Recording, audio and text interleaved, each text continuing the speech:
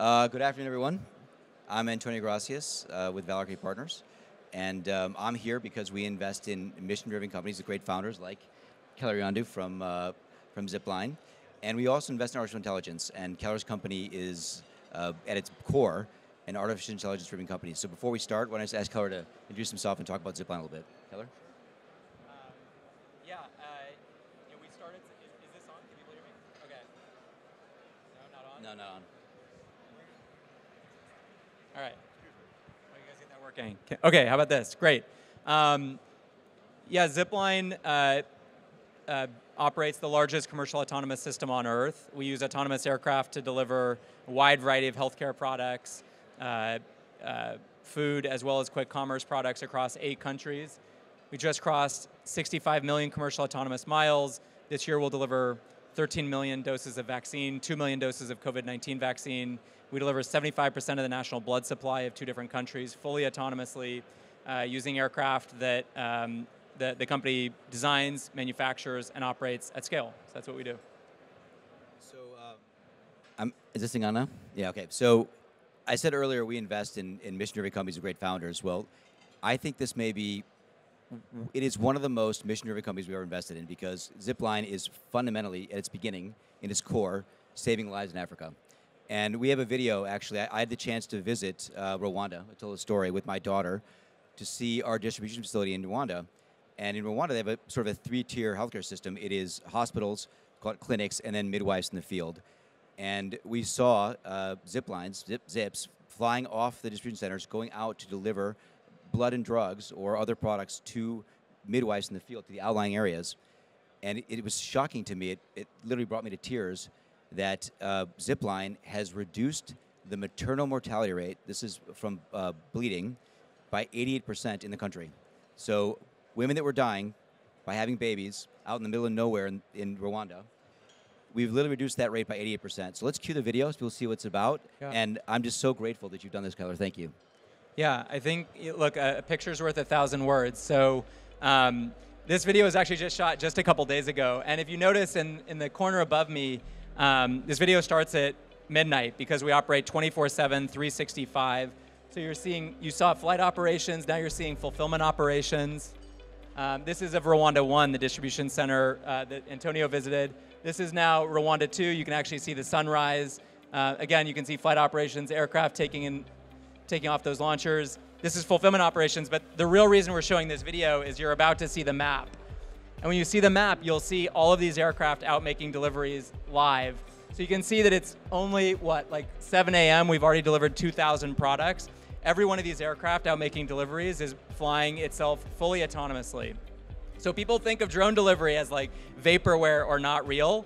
Um, it is, you know, in a country like Rwanda, it's completely normal. We're operating at national scale, day in and day out, delivering a wide variety of life-saving medical products to every hospital and health facility in the country.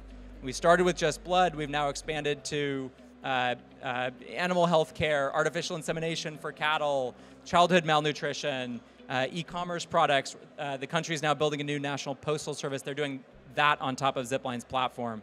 So you'll see there are often 35, 40, 50 aircraft out making deliveries all at the same time. Uh, if we're getting into the afternoon, you know, we've now delivered almost 4,000 products. This is a this is a logistics system that serves all people equally. It's a logistics system that's 10 times as fast as what we think of as instant delivery today. It's half the cost. It doesn't depend on pre-existing infrastructure. We can get to any any location we need to get to. And it's also a way of transitioning all logistics to zero emission globally. So th- this is the um, an amazing story, right? How does how does uh, Keller, who grows up in the U.S., um, you know, goes to college at Harvard, end up in Africa building an AI-enabled uh, drone company? How does that actually happen, Keller? Yeah, I mean, you know, we started building the company in 2013, and it, it did. Our backgrounds were in uh, robotics and automation and software. Our, it seemed to us that someone was going to build a, an automated logistics system for Earth. And when we thought about this opportunity to build a new kind of logistics system, what you know, what got us excited from a mission perspective was this realization that logistics really only does a good job of serving the golden billion people. If you're in the 7 billion who are not included in that group, your access to logistics either sucks or it's non existent. And as a result of that, five and a half million kids lose their lives every year due to lack of access to basic medical products.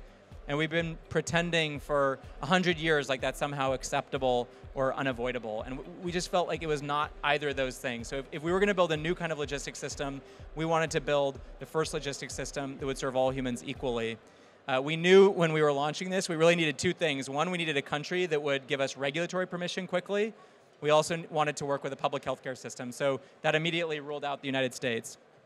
Um, and so we ended up spending a lot of time in East Africa, and President Kagame and the Minister of Health at the time. I remember meeting the Minister of Health of Rwanda and telling her, you know, we wanted to use autonomous aircraft to deliver medical products to all the hospitals. She was like, Keller, shut up, just do blood. And so for the first year, that's actually all we did. We delivered blood to 21 different hospitals. Um, and it's been, yeah, it's been an amazing partnership from there. You know, seven years in, Rwanda now has the largest commercial autonomous system on earth. We've expanded to eight other countries, including the United States, Japan, soon to be Australia, and the UK. Um, and Zipline just crossed 65 million commercial autonomous miles, which, to put into perspective, you know, people think of Waymo as a big autonomy company. Waymo's done about a million commercial autonomous miles. That's, amazing, Keller. And I, I'm just curious, one level deeper. So you could have anything, literally anything. Why this mission? I mean, why why take the pain to go to Africa? Like, what really drove you uh, intellectually and emotionally to do this? I mean, I think that, you know, to me, uh, the most exciting companies in the world are the ones with the most inspiring missions. And you've invested, you know, you made your career investing in some of the most inspiring mission-driven companies on earth, like Tesla and SpaceX. And, you know, th- those are companies that deeply influenced and inspired us. And you know, life is short and you have like one chance to do something that matters. And so to us, like when we look at the world, we feel like so many technology companies in the US are focused on solving what are fundamentally rich white people problems. Like they are focused on rich customers who live on the coast of this single country. And when you think about what it's going to take to move, move humanity forward to create like the world that we would be proud to hand to our kids, we need like all of these problems that impact 6 billion 7 billion people on earth that, that we need to be solving there's this attitude of like well the gates foundation will do that. Usaid will solve that problem. And what i can say is like they definitely won't. The only way we're going to solve those problems is with technology and with mission driven for-profit companies that have like uh, you know, working and sustainable unit economics that can actually scale to provide a service to many billions of people. And so it really always seemed to us like we have got to get the smartest engineers working on problems that matter at humanity's scale, and we and we want to be able to show that you can raise a lot of money from private companies to build technology for you know the, the seven billion humans on or the eight billion, not just the the, the golden billion.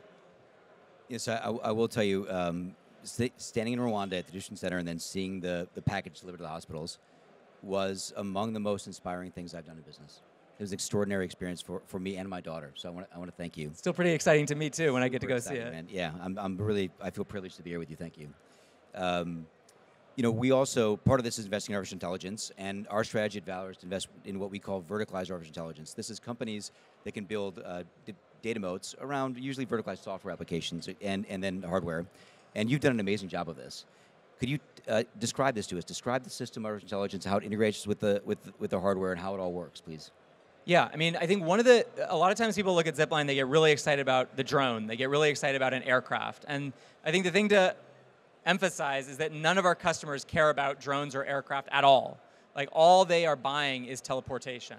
Our customers want to be able to buy a service that ensures that they can deliver a product from point A to point B so fast that it saves a human life or it creates like a, a massive economic advantage for that customer. And uh, all of the technology that needs to sit behind the curtain in order to make that sort of a thing possible we have to be ultra full stack. And we're you know very very very inspired by tesla on this front. I mean zipline you know our electrical engineering team is building the flight computers and all of the avionics from scratch. Our firmware team is writing all the low level code that that powers that avionics. Our uh, mechanical engineering team is designing all of the different 43 sub-assemblies and 2000 parts that then get you know sent out to hundreds of global suppliers all over the world. Our software team is doing everything from writing flight control algorithms to doing computer vision based pre flight checks to neural nets and computer vision uh, uh, for route planning multi-vehicle deconfliction.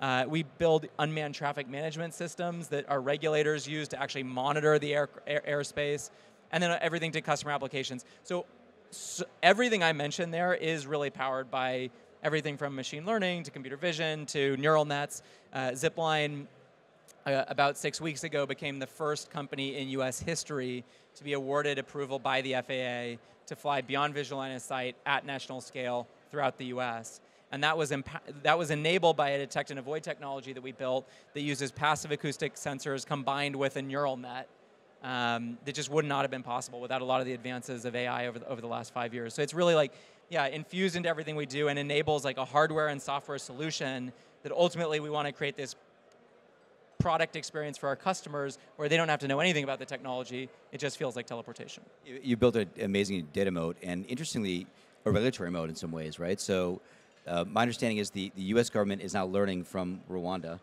to, to build our, uh, our American um, regulatory system for autonomous flight. Can you tell us how that's been, watching the U.S. government learn from Rwanda? Yeah, I mean, it's very funny, obviously. I mean, because we, I mean, we spent five years working with the FAA to get this regulatory approval, and, uh, you know, the, the reason that Zipline became the first company to get that approval is that we now have 65 million commercial autonomous miles, which is about 50 times more than all the other players in the space combined. And so 65 million commercial autonomous miles, zero human safety incidents is pretty much what it took to kind of get the FAA over the line in, in terms of concluding that this was safe enough to, to, um, to certify in the US. And certainly, you know, we were inviting them. We were like, don't guess, just come and visit, come and see it. You know, go to one of these seven other countries where we're operating at scale. So actually, the FAA did fly a big team of their technical experts to Rwanda. You know, this tiny country that um, you know has a GDP that's very different than the U.S., for example. And the FAA was in uh, the the RCAA, which is their counterparts in Rwanda. And I remember this this profound moment where the FAA was like, sort of confused and asked the question twice, and the RCA was getting sort of frustrated trying to explain to these idiots like how the system works. And, uh, and someone at the RCA has just finally said, you guys are dinosaurs. you need to get with it, you know? And, and it's, it's quite powerful to see like this small like entrepreneurial country just really kicking ass and like setting the standard like that. You know, I, I think we as American citizens, or I as an American citizen, I think we have this sort of sense of entitlement or this um, you know, we're confu- we, we think that, oh, we're always going to lead in terms of innovation. And it's just not true.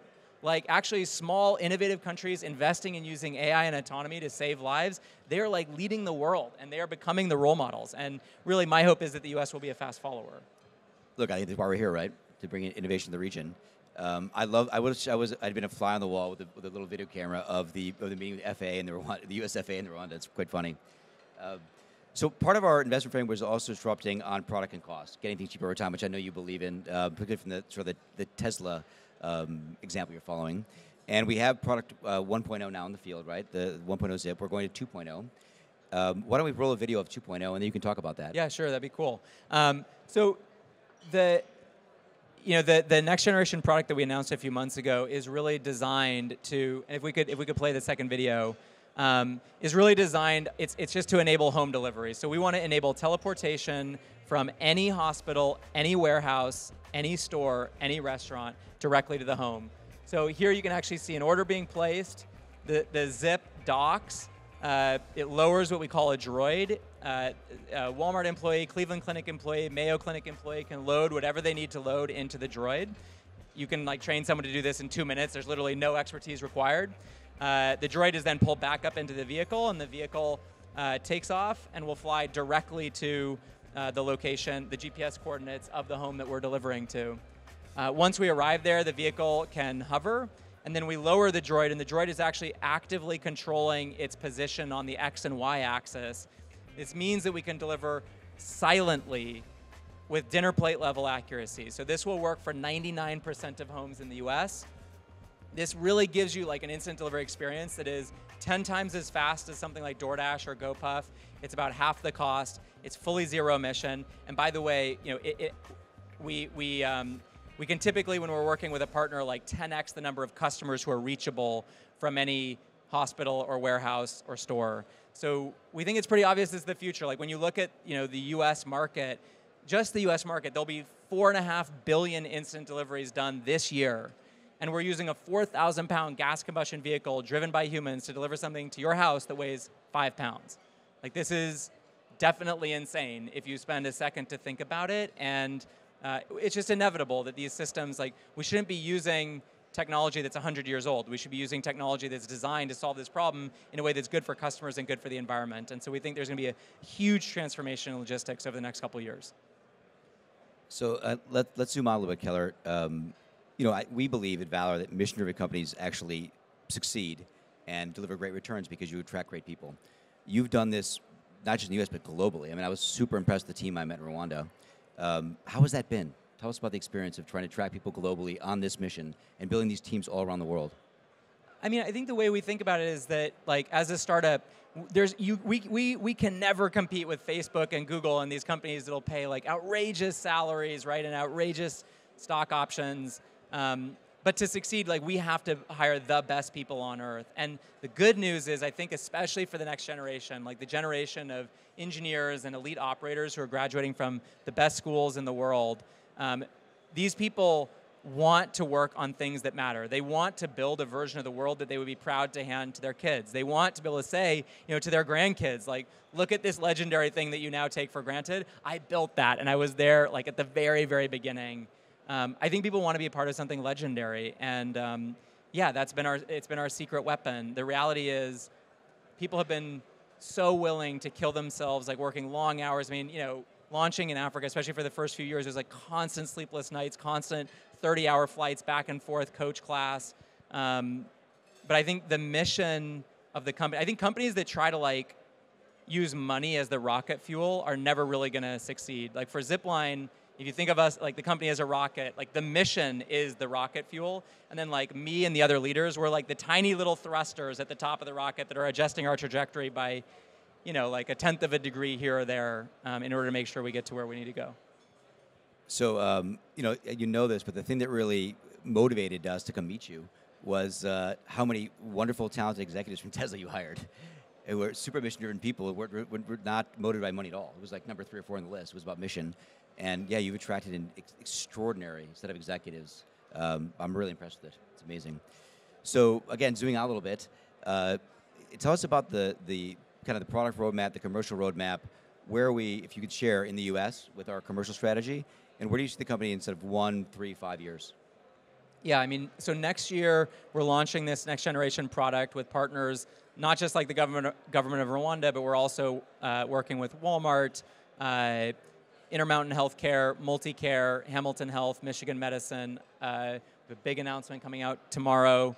Uh, I mean, really, like all of the biggest healthcare systems in the US are actually signing large scale enterprise contracts to transition all of their home delivery to Zipline, which is just, you know, pretty mind blowing. I thought it would take longer than that. So, uh, you know, healthcare is a huge portion of what we're doing. Quick commerce with partners like Walmart and GNC, another part. And then we're just beginning with food with partners like Sweetgreen. So, scaling nationally. Uh, you know, we think that this kind of a service, I, I do think it's like inevitable that one of the most valuable companies on earth is going to build an automated logistics system for Earth. I think that company will be bigger than FedEx and UPS and possibly Amazon combined. Um, and again, like for us, like what really what really motivates us on that front, and, and you know, it's not just the U.S. Like we're continuing to scale. I mean, really, every country should have access to this technology. Our goal is to build a logistics system that serves all people equally. And so, uh, you know, the good news about technology and automation is that by reducing costs, by building technology that's better for the environment, it can actually scale far, far faster than systems that rely on like super heavy gas combustion vehicles and labor. Like in the US, for example, there is not enough labor to scale logistics systems right now. Like UPS and FedEx cannot hire enough drivers. So I think we often have this idea of like, oh, automation, like it's gonna, you know, cause us to, it's, it's going to eliminate jobs. The reality is it's actually just gonna allow the economy to grow vastly much faster. So we are in the um, in the Kingdom of Saudi Arabia. Thank you very much for the invitation. We're happy to be here. Uh, and it, all, it, obviously begs the question of uh, what is your strategy for the region, Keller? How are you thinking about the Middle East, and how are you thinking about the, the Kingdom of Saudi Arabia? Well, look, like the funny thing is, in like in many ways, we're sort of like stealing the vision of so many of the countries in this region that are dreaming big about building not the infrastructure of the 19th century, but building the infrastructure of the 21st century. You know, so we look at projects whether it's like you know, the Jordanian government um, using technology to serve refugee camps, to using technology to serve veterans hospitals. There's like huge opportunity. Um, and by the way, also struggling deeply with things like traffic in capital cities. We look at Neom, you know, the line. You look at the 3D renderings from any for any of these mega projects. Uh, drone delivery features prominently in them. So to a certain degree, we feel like we're just enabling the vision that a lot of the countries here already have. Um, but yeah, I think I think you know there's always this I, like, do you want to build you know do you want to build the uh, infrastructure of the past, or should you skate to where the puck is going and build the infrastructure of the future? And I think that generally what we found and, our finding as we talk to partners in the Middle East is that, and particularly in Saudi Arabia, is that there's just like such an appetite to like dream about the future, build this science fiction version of the future that we would be proud to hand to our kids, transition logistics towards zero emission. Um, yeah, you know, just, I, I, I think that you know, we're just very aligned and, uh, and excited to enable that vision however we can. Well, thank you, Kelly. I think we're out of time, but um, it's great to be here with you. Appreciate it very much. And great to be with Thank you. Thanks, Antonio.